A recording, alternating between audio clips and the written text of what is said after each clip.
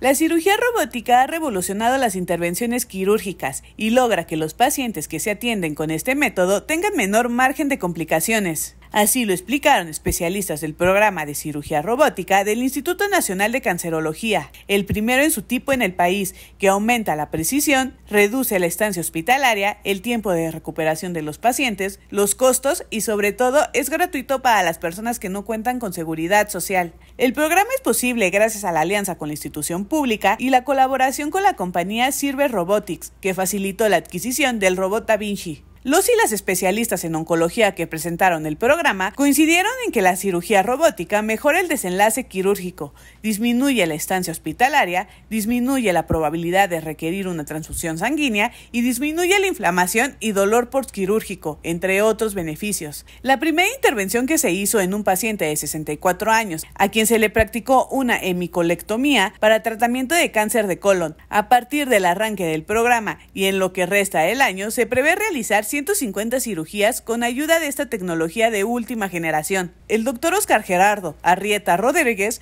director del INCAM, mencionó en la presentación del programa que este se encuentra dentro del plan para el fortalecimiento del sector salud y por ello está dirigido a la población más desprotegida del país.